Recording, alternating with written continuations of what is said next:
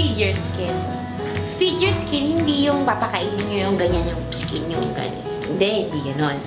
Your skin, stock up on healthy foods at home like fruits, vegetables, and seafoods. Pwedeng mga chicken, ganyan. It's healthy for you and your family na kumakain kayo ng mga healthy foods in moderation. Not only you take care of yourself, and you also take care of your skin. And at the same time, it will make you feel better. It will make you feel light. Yan ang secret ng pamilya namin.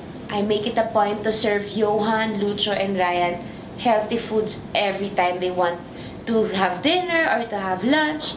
But we make it also a point na it's a time for the family to bond together. Like, magluluto kami ng magkakasama.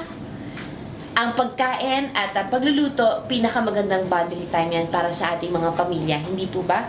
So, mommies, be sure to make it a point to have extra time with your family and make it a point to serve them healthy foods for vitamin A and E for the skin and for the whole body as well. Remember, when you take care of yourself, it really shows.